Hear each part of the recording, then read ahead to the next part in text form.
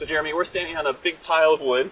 Uh, I think we could see this in the video as we were, were talking about the, the management here, the harvest here. But I think students may not have appreciated how big this actually is. Can you explain wh- what this is and why it's here?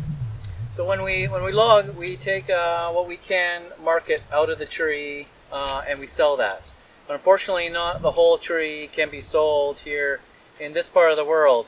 And so we're left with some debris left at the end. So the, the tops of the trees and all the limbs of the trees, and sometimes so- part of the butt of the tree as well, uh, from the, the the bucking and log making process from the tree. So these are all of the parts that basically weren't worth bringing to the mill. That the value of the log was less than it was not something the mill could use, or the value of it was less than the cost of bringing that to the mill. Yeah, so we would term this non-merchantable. And what else do you call this? Well, slash. And so uh, we, uh, like we mentioned before, we can uh, make logs either in the bush or we can do it here at the landing. And so if we do it here at the landing, we end up with an accumulation of, of, uh, uh, of slash. And then if we do it in the bush, all in one spot, we can end up with an accumulation of slash as well. And so we have to plan for two things with this. One is plantability of the, uh, of the landscape here. We, we have a, a duty to, to replant and reforest this land and get that new stand free to grow to an age where it can survive without our management or now without further inputs from us as foresters. Um, and so slash control is uh, a very important part of that. And the other part is, is what we call fuel loading. So it's the amount of uh, debris or the slash that's left out in, in the forest. And so uh, you may have a job at some point in your career to go out and measure the amount of debris left on a logging site after it's been logged and, and measure, quantify that amount of uh, uh, fuel loading on the landscape. And there are guidelines that you have to abide by. And so when we finish logging, one of our duties is to go around and make sure that we are properly prepared while we have the equipment here on site. And we get them to rake up and pile this. And then, when not in the summer, uh, but in the winter, usually when we have uh, safe burning conditions, we actually come out and we deliberately light these on fire to burn them. And that helps mitigate the, the fuel, the concentrated fuel load we have in one spot, also more plantable area, and returning nutrients back to the ground. So in this case, I presume since you put the effort into piling this slash into these big piles, the intention is that you will burn these at some point? The intention is that we're going to burn them uh, when it's physically possible here to do so. Uh, in this neck of the woods here in BC, where we have a lot of uh, restrictions here on when we can do that. So our window here is probably the most narrow of anybody in the province.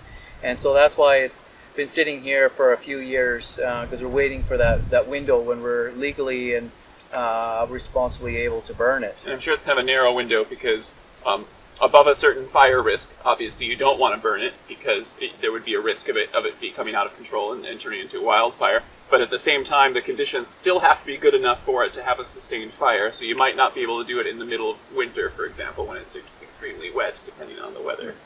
So unfortunately, that's actually the, the window we're end up left with is actually the middle of winter. So now we have to get kind of clever about how we engineer these piles to burn in these conditions. Um, one of the biggest constraints we have around here is we fall within the Fraser Health region, and so we have to uh, be very careful of the air particulates we produce here on site and the and the, uh, the air for other people's breathing concerns uh, in in this neighborhood.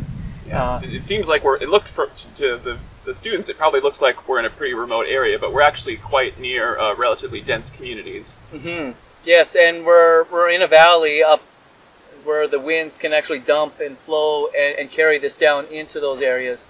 So uh, the, the way the winds are prevailing, uh, and we call it the, the, the venting index, um, how well this is going to vent and, and clear from the air and not congregate and settle down into a low-lying area and affect people's health. Do you want to do it while the atmospheric conditions are such that the smoke is going to rise high into the atmosphere before it dissipates and not just hang out and concentrate in these valleys? Correct, yeah. So we end up doing that on really windy days when we have a wind coming from town up into it. When, uh, yes, like Patrick was saying, when the, we're going to get really high up into the atmosphere. Uh, often that comes on uh, in the winter and when it's, it's raining. So uh, it's it, we have to build these piles with cedar and our dry and uh, good components of slash in the middle. And then creating tunnels essentially to come in and be able to access those points in the inner core of this pile. And then as a, a Do you need summer, to access it when you're lighting it? Or, so we can access when we're lighting it in the winter. So the outside can be wet, but the inner core will be dry. and then that will hopefully dry out the outside enough that it would burn by the time the fire gets there. That's correct. Yeah, and some years we even tarp the piles to keep them dry, so to keep that inner core dry. So you mentioned uh, two downsides of Slash. One, and I've certainly noticed that just walking around in these harvest areas, it's hard to get around. That makes it hard for tree planters, hard to uh, uh, to be able to do that, especially if the slash is very deep and you can't get to the soil. And obviously, the fire risk is a big thing. But there are benefits to slash too. Obviously, it, it can help uh, prevent erosion, especially on a steep slope like this where we get lots of precipitation. Having that extra layer of slash on the ground can help protect that.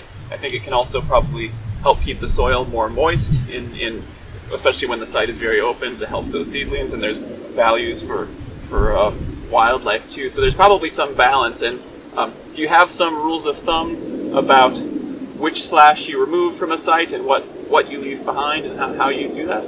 Well, the, the first uh, one we have to abide by is, is, is the sort of rules regarding around worker safety, which always tend, tend to trump everything. And so the fire risk is always uh, kind of paramount. That fuel loading is uh, a direct measure of that. And so we're not going to remove more than what we really have to because there are benefits, like Patrick is laying out, to leaving this on site.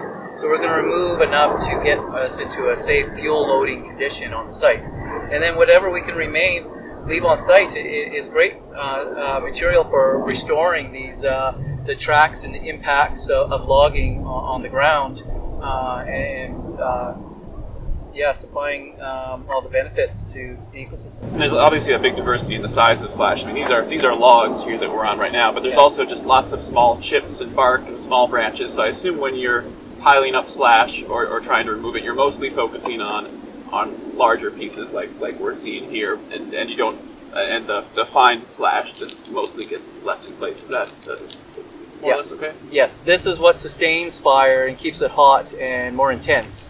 Whereas the fine fuel mixture on the ground, if a fire does get into it, it doesn't burn as hot or as intensely and it moves quickly. It allows the brush to come up in between it as well and our gen- and regen, which is uh, a lot less susceptible to fire and is actually safer for fire, this kind of mix, because the fire has a hard time creeping through that. okay